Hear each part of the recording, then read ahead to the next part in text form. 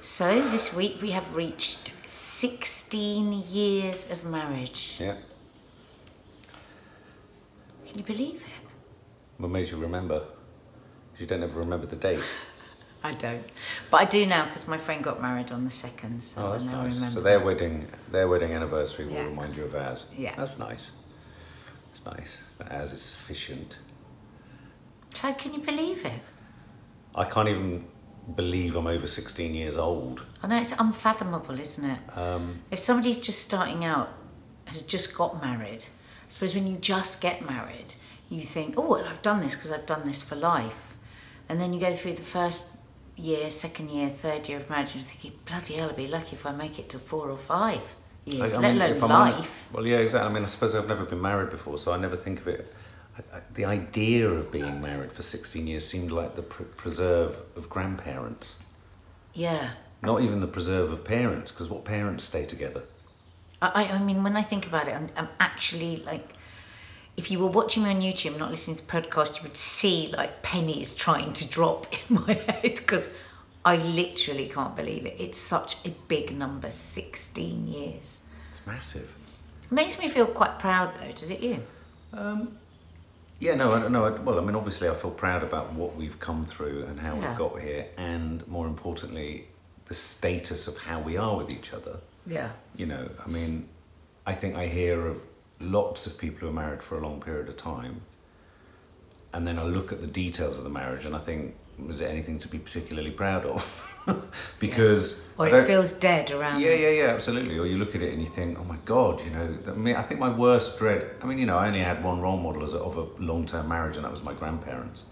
And it was towards well, towards the end. I mean, I never saw any affection between them. It was a, a different generation. I get that, mm. but you know, I'm, See, I'm- I still do with my mum and dad. I'm so lucky with that. well, you you have a really strong long-term role model, and they like children together. and they live next door. But they're like children together. There's a fizz Yeah. about them both. That's, Yeah. There's a chi- there's a childlike playfulness about them both, which keeps them young. And I'm not I'm not saying clearly they won't have had a smooth ride all the way through, but God, no, they drive each other mad, they're Yeah. irritated by each other, they bicker, but their relationship is still alive. They rise to it and they are a great team in that my dad wants to be the showman, Mm. but my mum's there gently sort of holding that up the whole time, isn't it? And they're very funny.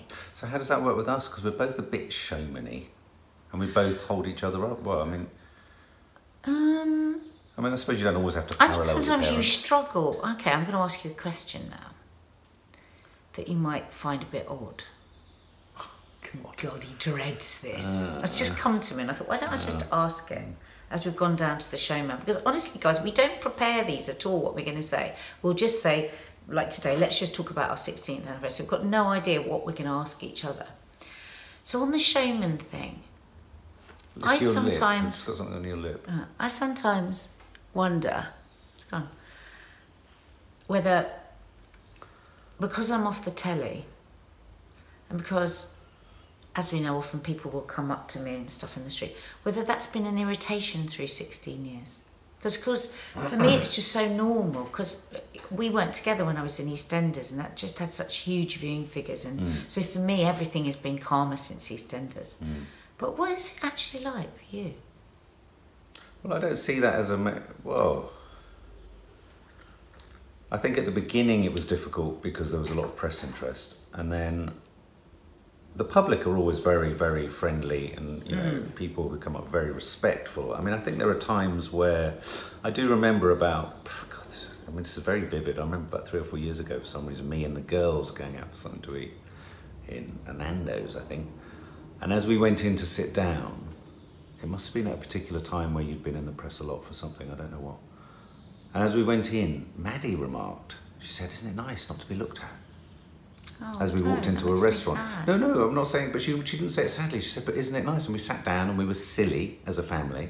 Well, that makes and we really were silly. Well, yeah, it's an honest answer though. Hmm. And we sat down and we were silly as a family, but we were silly anonymously. Yeah. So there was no worry that, you know, oh God, could someone take a photo? Oh God, could that hit the press? Oh God, you know, people are going to point and look. Or the, the people coming up isn't, isn't, isn't ever the problem because they're always very respectful. And I do, the, I do what I call the Prince Philip, where I sort of step to the side let people talk to you. Um, and they're always very lovely. But I mean, in terms of on a more I it's just a little question. In Yeah. the midst of 16 years, as we look back over 16 years. I mean, one can never forget it. I suppose that we, we get used to it. You just get Yeah. used to it. Um, I mean, I often say it's very funny because sometimes if Nadia wants to go out and want, we want to do something as a couple, and you know, even Nadia wants to be a sort of bit more inconspicuous or conspicuous um, and not noticed. You never sort of tell your voice that. So you may sort of pop on some shades and a cap sometimes just to kind of be able to, you know, submerge yourself into sort of I don't know the meat department of uh, of Asda's or something. But you, uh, but then you start talking, and it's like, oh bloody hell! You may as well just have a great big sign over your head saying Nadia Sawalha here. Um, but that's so not what really. else yeah. looking at over 16 Well, I mean, the biggest problem for us over the 16 years has obviously been issues around alcoholism and what have you, uh, depression. I mean, I think. Well, I don't, I don't really want to say around alcoholism because you've been sober for 15 years. I think I think it's not it's not because you don't because people might think that we mean by that that it's drinking and it's not drinking. It's it's the Dealing the stuff that's drinking. made you drink. Yeah, and dealing with not drinking Mm. and being part of a couple where the whole world is revolves around drink and. You know, I think what you I've wouldn't li- go to a party, a barbecue, an afternoon meetup. You wouldn't go to anything without alcohol being part mean, I of think- it in this country. I think it's a whole other podcast, friends and socializing. But I do feel sad over the 16 years that we haven't been able to, or I haven't been able to, for you in a sense, be more easy in social situations or the, the ability to go to them. And the reason I say that, and I think that's important in terms of looking at one's relationship, because I think a huge part of one's relationship is how it's seen. It's seen by I don't mean by the public or the press, Mm, yeah. but seen by others and Yeah. how you function around. Well, I'm watching and- your partner in another situation with other people, and I do, I, I, I miss that. that I mean, I, obviously, I had, there's no shortage of me seeing you engage with people, whether it be on telly, whether it be you have a very busy social life and a very busy uh, and, and very good friendship circle. So, you know, I've sort of made this decision slightly in my life, and it makes me a bit sad that that's your thing. You're the social one. You're the sociable one. You're the and Which you know, isn't I- true, it's when I when I struggled too. with it in the past, the idea, you know, there was there was, and what I mean by the alcoholism, there was a period of time where, I, and I'm sure this happens with a lot of relationships, where one member of the couple is perhaps a little bit more socially anxious and almost resents the other one being able to do it so easily and go out so much. And I know that I've made you at times feel bad, perhaps, about doing things that you've wanted to do, and I certainly haven't wanted to, but it's actually been because I really wish I could step over the threshold and join you in them. So if I look back over the 16 years, I think that's not something I, I, I don't think I could have changed it. And I, I don't necessarily think it's going to change massively in my future life. And it brings me great sadness. But um, yeah, I suppose when I look at it like that, I do sort of sometimes think we're very lucky that we're as strong as we are, given that I'm as isolating and uh, solitary and as uh, withdrawn as I can be. And of course, people that know you online will be sitting there going, "Mark," Well, no, I know, but I- because you're hugely sociable, you're hugely But it, entertaining. but it is a form You- of defence. Everything is always better when you're there. Everything is always more No. fun if you're there.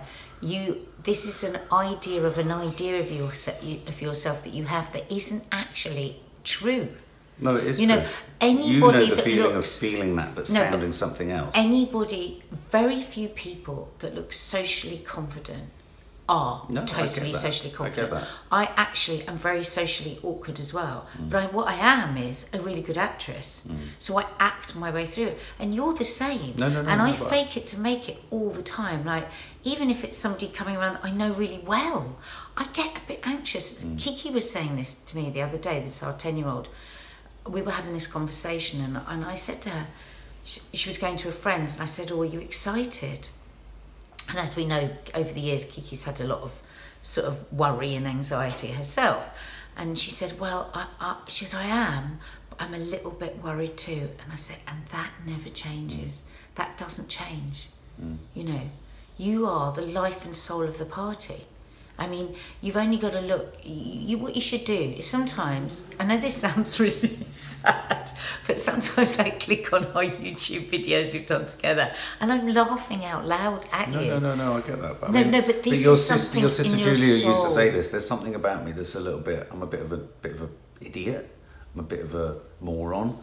In, and she always meant it in the nicest possible way. She said, "You're a bit, you're a bit weird. You're a bit stupid. Yeah, but bit... aren't we all? Yeah, no, I know, but I mean, I suppose I just, I mean, I've been a dad for 23 years, so it's it's a kind of extension of being silly. And you're the kids. fun one, and I'm the miserable one. Yeah, but uh, yeah, but me and you know that behind the curtains, behind the scenes, that there's a very different set of things going on. I also do know that about you. When people ask me about you, I know. I Yeah, say, but, but exactly behind it, everybody's seen there is that. Yeah. And Well, I suppose when I look at our from- relationship, but it has had an impact on how much we've gone out Yeah, but from my POV, it is hugely frustrating for me Hmm. because you will shy away. The word shy, when somebody's shy, is to shy away, to pull back.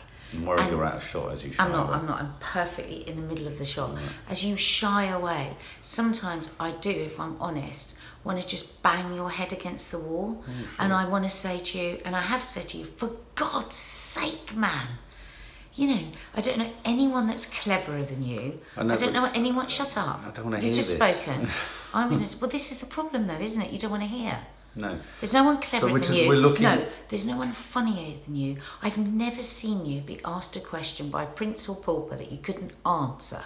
You know, so for you to be socially awkward is very, very frustrating because I'm a blagger. I'm a fake. I don't really. Yeah, I went into work the other day and they, they were all like, I went into the meeting and they said, at Loose Women, and they said, Are you all right? I went, No. I said, I'm not. I was walking down the street and I suddenly got hit by this epiphany I am a total fraud. So like, what can I really do? What really am I? What what am I presenting to my friends, to my family, to in, in whatever show I do? Who the bloody and I had such a crisis of confidence. I didn't even want to walk into work. Mm. You know, so so don't don't think for a minute that I don't know how about how- oh, how all that fits. And I do sometimes get really frustrated when I'll say to you, come to this thing and you just go, oh no. And I just want to say, over 16 years, can't you just force yourself? Sometimes for me, can't you just force yourself and just go, yeah, okay, just breezily go, yeah, okay. It is always a bloody nightmare. Hmm. Well, that was a sort of turnaround. You went from being really compassionate to being really Yeah, pissed off. it's compassionate because I know how brilliant you are. And No, it's so annoying. And I think sometimes, you know, what do they say in, in all recovery? You know, put yourself in the service of others. Oh, yeah, I do do that. sometimes what you could do for me is go, do you know what? I'm actually not going to think about how difficult this might be for me, or how, I'm just going. And I think a lot of women will actually identify with this. I don't think it's just about A or anything. no. I think that men tend to more often go, "Do you know what, I'm not going to get, and they pull away from it. And so, so many women are out on their own because their partner won't won't won't push through the embarrassment or the social awkwardness of just initially walking through a door and not knowing anyone. And I would never do that But with to you. fair- Anything you ask me to, to I would go to it. to be to be fair, there is often this thing though, where for men, there is an underlying knowledge that women tend to do this slightly sort of let's congregate in a corner as a gaggle of women and we'll do our thing. Now, as a man who doesn't drink, it's incredibly hard to be sectioned off with the men partners of everyone you know when you can't have a drink. Can I just say one thing? I 100% agree You know, to that. what I'm saying Women is, tend what to- I'm saying is, women- twice a year or once well, a year, you could say yes to me. That's all I'm saying. Yeah. And you never will. That's it's not like true. it's because if I'm going to something and I have to think, I get all like churny in my stomach. I've got to say to Mark because because and then and then he'll get because the thing is, if I didn't say to you come to stuff, you would feel left out of stuff. But then you won't. But then you won't ever push yourself and and do it. and Well, I think I think we should like hold this for another another podcast because the whole social socializing thing I think is a thing. I think it's a really big It's a big thing. thing, but I I'd mean, I really think- like. Could you actually?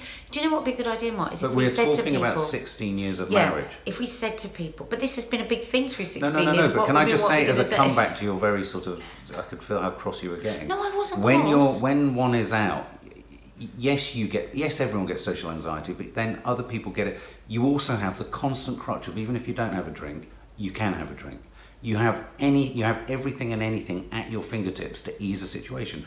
Most, most often of all being, you know most people in these situations. I have no connection with them, and when you have added social anxiety to that for a range of whatever reasons you want to call it. Standing in a room feeling like your skin is blistering. To ask you to stand in a room No, no, with no, a no, load I'm of talking about, I'm not asking that you ask me to. That's how it feels to me. This was supposed to The be a celebration of prospect- 16 The years. prospect of standing in a room with complete strangers, not saying that the partners of any of them are, are, are- are not nice, they are nice, but they're, they're in their own space, but they can all have a drink and have a chinwag about stuff. I can't. It's very hard. And I would rather run for the hills. Now, when I know that my wife, I get that you're disappointed by that. I've just expressed how disappointed I am that I can't do that. But there are certain limitations that we all have. I don't think disappointed is the right word. If you're looking over 16 years of marriage, it is a thing that has mm. been in our marriage. Mm. And it's not that I'm disappointed in you. I am frustrated for you because I never go to anywhere without you would have been the best person there. That's all I'm saying. So over 16 years of marriage, when I think of the many occasions where I've been at things and you haven't been there, and I've wanted you there because I know you'd be the most entertaining person, that makes me sad for you as much as for me. Yeah, I think, you're miss- trying, I think you're always transposing the entertaining person I can be in the comfort zone of being around people I'm comfortable with. I hmm. can't be that with strangers. Yeah, I'm- but sometimes this is even with comfortable people, people you're comfortable with. Well, yeah, I get that. I understand that. I'm not talking about a great big room. Listen, how often do I go to things like Look, that? I hate Look, events. If I'm I going, hate here's the red thing. carpet I, stuff. I have I been, hate all that I have stuff. been in some of the most stress. You know, I've met every head of every channel in the country, and I can sit and I can engage. Exactly. Yeah, but the only reason I can engage with them is because I'm in a professional capacity, talking about Mm. the professional thing at hand. I have an agenda. I am good on my agenda. I'm good at my job. I know I can do all of that. Mm. Soon as I'm in the social world of chit chat, it fills me with absolute dread. This is a really, really good podcast. Could you? Because what would be great is if you guys leave comments below if you identify with this or your partner does, because I think it's a really But good. Co- I really promise good you, it's topic. not a willful. I know, oh, sweetheart. yeah. No, no, no. But just as the as you were saying it there, you, you're very colourful in your language, and so suddenly it sort of began to sound like I'm sitting there going, you know, you could just once or twice. Yeah, you're right. On paper, it does sound like I could just once or twice step out of my comfort zone, be of service. I'm saying to everyone in my life, my children, people who are close to me, who I care about, who are struggling, be of service. as a way of helping. Mm. But then there are also things where I know that putting my hand in a burning fire is so painful, I can't do it.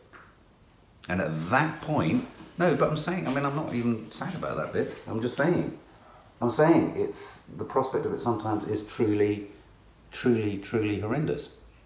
So let's move on to something else in our 16 years of marriage. um, I tell you what, I mean, I do think about 16 years of marriage. I think there's a social pressure, and this is something else. I thought we weren't going to talk about this anymore. The social precisely. No, no, I'm talking about different social Oh, pressure. right. So, society wise, there's a societal pressure, and I hear it sometimes from women of a certain age.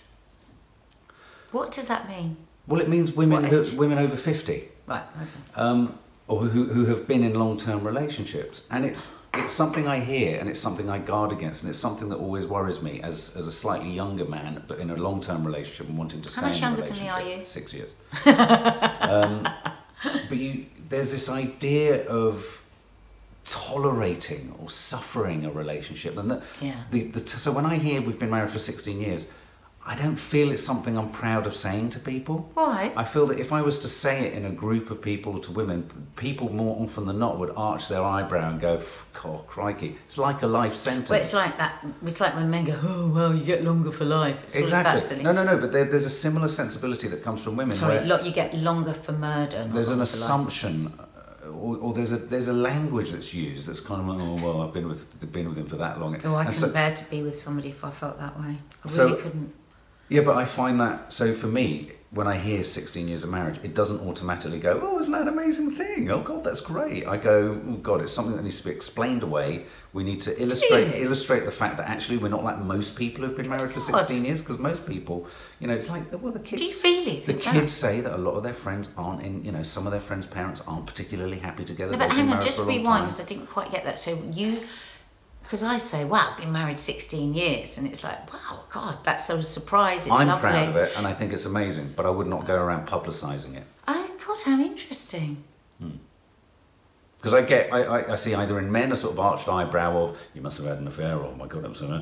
Oh, do and, you? and you get from women a sort of well, uh, I don't know. You just sort of get a Well, the majority of men would have that attitude if you said it, do you think? yeah. They'd see it as a punishment, not as a an attribute. Really? Yeah, a lot of people I've worked with, yeah, absolutely. And they, you know, and a lot of them are in shorter term relationships, and they can't even hold that down. Hmm, how sad. So, you know, 16 years of marriage for me, when I hear it, it sounds, I, I sort of, I get hooked on what what those sort of men and people would, would sort of say of it, which is, oh, that's a bit dull, isn't it? God, 16 years with the same person. Yeah. And if I think back to when I was 20, I would never, ever have imagined I'd been, been with someone, not married even, but been with someone for longer than, the longest relationship I had before you was six years. Still quite long hmm? Well, it's for still young long, man. that's what I mean, so 16. And so when I then... You're a long relationship when I person. chuck the numbers aside and then I cut back to us being, say, Oh, out on our on our anniversary night, I genuinely want to be with you. I genuinely enjoy being with you. You're a great friend. We laugh. We also bicker. I mean, I suppose the bickering is also hard. fight like hell. We fight like hell. I mean, I something I would I would say is that the, the arguments have less of a rumbling build up now. You just go to DEF CON 20 straight away sometimes about the slightest things. And you, it's just like flipping out. That's a mallet to, cr- to crush a No, it's interesting, isn't it? Because you will think I go straight to DEF CON, but I've been suppressing it and then I blow. Yeah. So, But then, but I think we're much better because we recover a lot quicker. We don't have a week of hardly talking to each other, which is what we used to be mm. like. I think that one of the major ingredients to it lasting as long as it has has been a capacity to say sorry and admit you're wrong. I mean, I think a I mean, I think you underestimate, or one underestimates how many People members of a don't. cou- cou- how many halves of a couple just refuse to acknowledge that they ever do it. I mean, I know people in my family refuse to ever acknowledge that they were wrong. It's like, how can you go through life never thinking you're wrong? That Mm. in itself is wrong. It's very isolating, that isn't it? Yeah, but I mean, so for But me, I like that about you, and I think that it's good that we're like that with our children as well. We will say, Oh, "Do you know what?" Because I think that's where it starts. So you know, if you're stuck in a marriage with somebody that never says sorry, and you're bringing up kids together, you know, make sure that you teach your kids that you can, because otherwise we're just sending more women and men and women out into the world No, absolutely. that will never. And that I think is the root of where so many marriages go wrong. Hmm. So many marriages go wrong because nobody is ever is in a constant state of battle with no with people wanting to win. yeah, And what's that saying from that film? Better to be kind than be right. yeah. It's a great. This this is um, this is a quote from a movie that the guys saw earlier in the year, and I think this year of our marriage, it's. I can think of quotes through our marriage that have got me through and got us through, and um, this year I think that's one I've used thought of a lot. Better to be kind than to be right. What? you- And you can diffuse in yourself an argument that you feel coming. Well, what does it matter actually? So what? You're going to go with this? You're going to have a big row why don't you just not go with this? Mm. Because actually, does it matter that much? Mm.